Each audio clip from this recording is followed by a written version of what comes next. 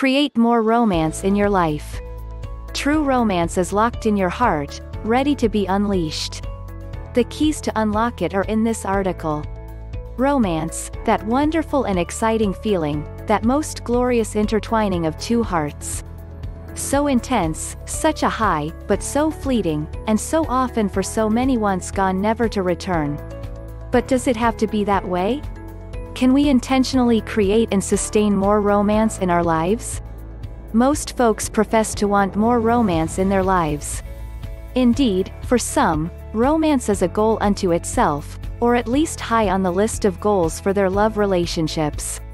But if having romance in our committed love relationships is a highly prized goal and if so many people want more of it in their lives, how can we create, cultivate, and encourage it?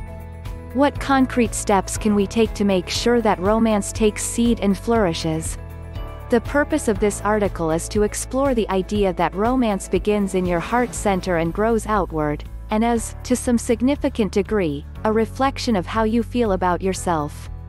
In other words, by romancing yourself first you can create the conditions that allow you to experience and express romance with another more easily. Listen, your capacity to love and accept yourself is the measure of your capacity to love and accept others.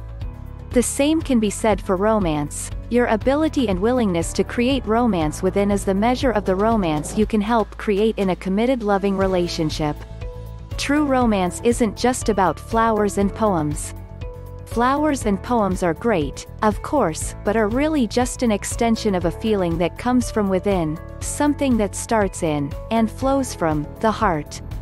Without that heartfelt feeling, flowers and poems are but an attempt to be to romantic, not an expression of true romance.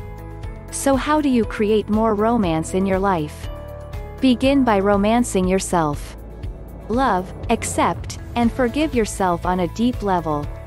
Treat yourself with respect and understanding. Buy yourself flowers. Write yourself a poem. Treat yourself with respect and dignity. And remember, if you don't love yourself first, you can't truly love another. And remember that it is far more important to be the right person than to find the right person. Our relationships are a reflection of the relationship we have with ourselves. Romance, too, is a reflection of that inner state.